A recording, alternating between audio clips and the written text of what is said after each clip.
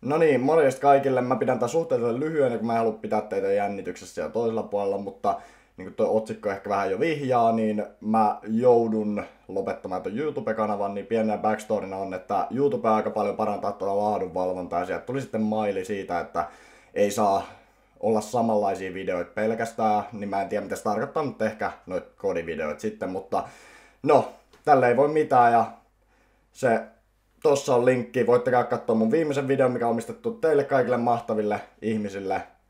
tämän kanavan kunniaksi ja se on siellä pari päivää niin kuin tämä kanava enää, niin kattokaa se. Morjesta.